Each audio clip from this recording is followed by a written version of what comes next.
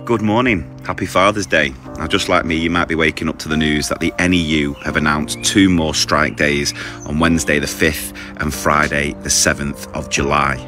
And this is in response to the fact that Gillian Keegan is likely to dismiss the STRB, the School Teacher Review Body's recommendation of a 6% pay rise. Now, when I woke up this morning and saw this, my first initial thought was, hang on, I thought all the unions were going to come together, they were going to coordinate a strike day or strike days in September, and that was going to have the most impact because it would involve as many school staff as possible.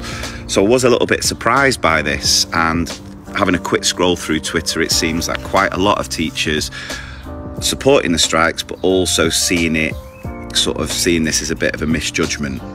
And I can understand where people are coming from with this because you know, traditionally back in the day, summer two was always my favourite term because you were sort of easing into summer and it did get that little bit easier. Whereas now, I'd say it's up there as one of the busiest half terms of the school year because everything else gets left and has to be squeezed in to this half term. We're talking sports days, we're talking end of year shows, we're talking residentials, summer fairs, the lot. Now, even though a lot of these things get pushed to summer two because schools have to get results in tests and all these sort of things, they do matter to families and to pupils. Those sort of core memories we have of the last show we did at primary school or the last trip we went on or the last sports day. But there's also a cost element here as well for a lot of schools, whether you are renting local facilities to run your sports day or the cost element of going on a school trip, residential.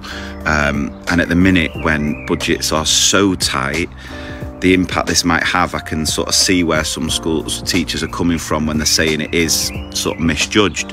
But I welcome your thoughts. I'm interested to know what you guys think. Um, and obviously, I've supported the strikes all the way through. But yeah, let me know what you think about this announcement of strikes happening on the 5th and 7th of July. And um, yeah, welcome your thoughts.